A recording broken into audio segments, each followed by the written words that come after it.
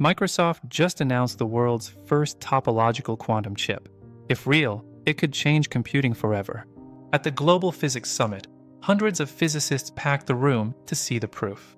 The session chair reminded everyone follow the code of conduct. The room laughed nervously.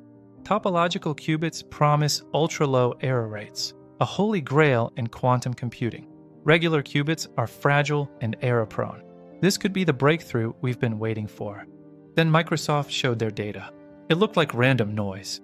Physicist Henry Legg called it incredibly unconvincing, like a Rorschach test on hundreds of people. Critics didn't hold back. Any company claiming a topological qubit in 2025 is selling a fairy tale, Legg said. Another physicist, that chip cannot possibly work. But not everyone's convinced it's a failure. Some see promise. There's very many positive signs, said one researcher. The physics community is split. Microsoft stands behind their results. Critics predict more retractions are coming. The quantum truth?